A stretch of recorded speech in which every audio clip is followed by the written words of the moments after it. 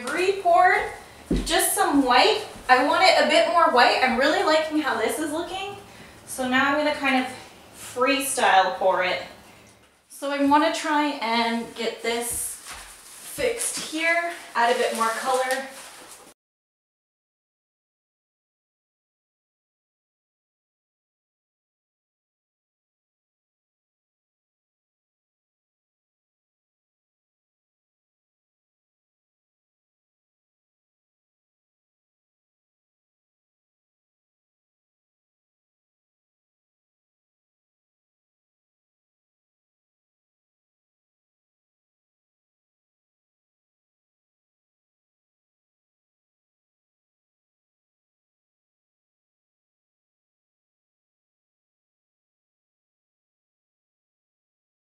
So there are a couple spots that I'm just going to pour. This is going to be my final pour.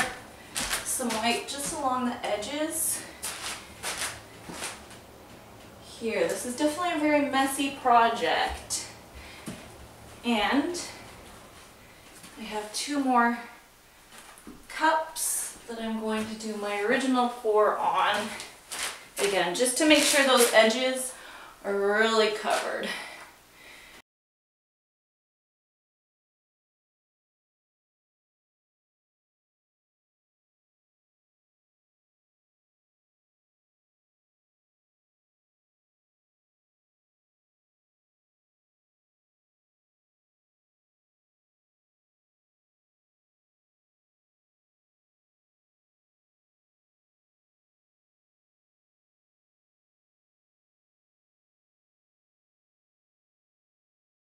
It's pretty hard to see the cracks, but there are a lot. Like there's a huge one here, here, um, here.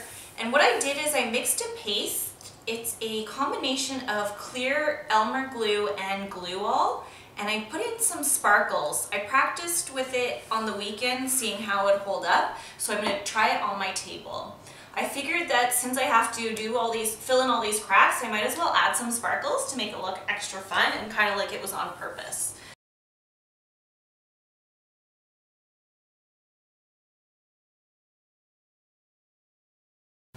I found it easiest to take my palette knife and just kind of fill in the cracks just a bit and let gravity really pull the glue down. When I spread it, it made too much of a mess when I was trying to wipe it.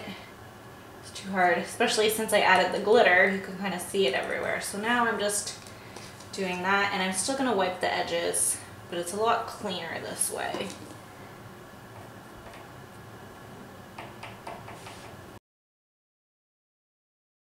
I wasn't planning on doing an epoxy clear coat.